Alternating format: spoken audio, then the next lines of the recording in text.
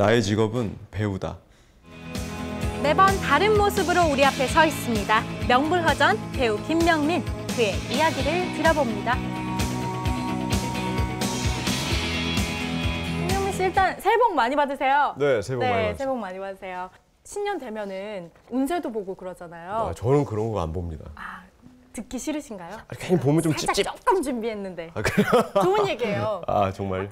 미혼자는 결혼을 하게 되지만 어쨌든 기혼자는. 가정에 경사가 생기고 아, 네. 아, 또 좋은 소식 들리나요? 한번 지켜봐야 되겠네요. 그리고 가정에 가법이 세워져 자녀들이 바르게 성장한대요. 애는 잘 크고 있는 것 같아요. 근데 그 네. 경사가 경사가 네, 뭐, 좀 둘째 생각은 없는데. 지난해 한 언론을 통해 화목한 가정의 모습이 공개돼 화제가 됐었죠. 요즘은 약간 두려운 느낌이 들어요. 왜요? 애가 힘이 점점 세져가지고.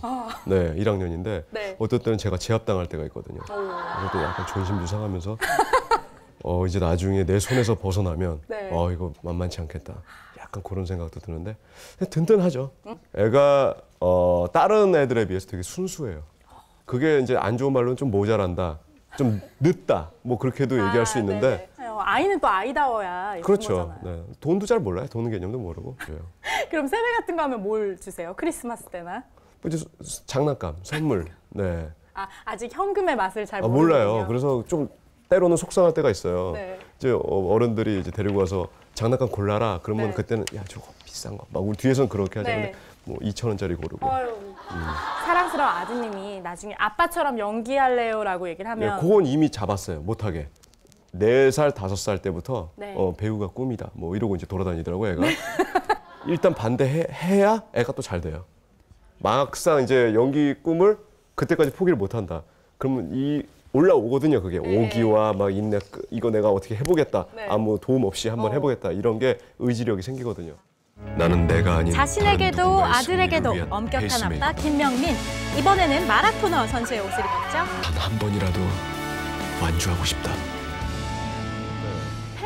또 걱정을 하셨어요. 이렇게 또 살을 많이 빼셨다고. 근데 그게 좀 잘못된 게요. 네. 음, 그 윗부분만 보셔서 그래요.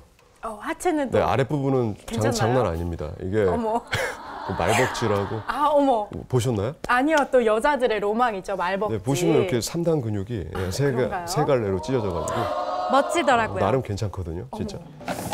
배역을 위해 영혼을 가꾸는 배우. 매번 이렇게 힘든 연기에 도전하는 이유가 있다고 하는데요. 힘든 역할을 많이 하시는 것 같아요. 네, 연기가 안 돼서 아 뭐예요? 그런 쪽으로 떼어볼까. 어, 농, 예, 뭐 농담 진담 반 농담 반이고요. 그 내 사랑 내 곁에 이후로 어, 너무 몸을 혹사한다는 네. 쪽으로 예, 비춰지는 것 같아서 좀 안타까워요. 그 모든 역할들이 네. 어, 그런 노력이 없이는 안 되는 것 같아요. 음.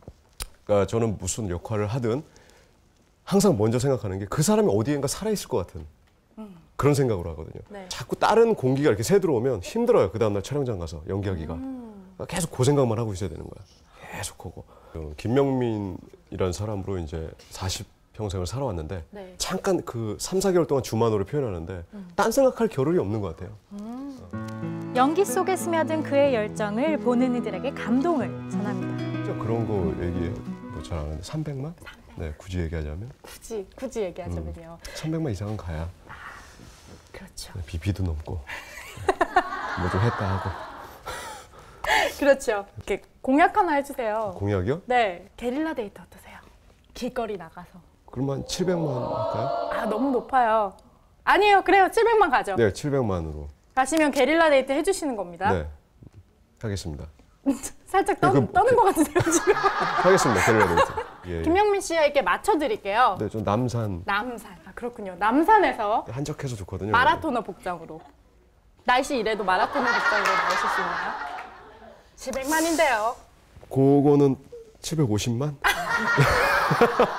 네. 네, 기대해 보겠습니다. 또 흔히들 말하는 가족의 건강. 네, 건강해야 네. 또 제가 일을 열심히 할 수 있으니까 네. 그게 첫 번째겠고 어 그래서 제가 지금 할 수 있는 하고 싶은 일을 하고 있는 것에 저는 항상 감사하고 있거든요. 네. 그래서 제가 항상 관객들 앞에서 어, 열려진 무대 위에서 항상 제가 일할 수 있는 터전이 계속 마련됐으면 좋겠어요. 네. 안녕히 가세요. 지금까지 배우 김명민과의. 만남이었습니다.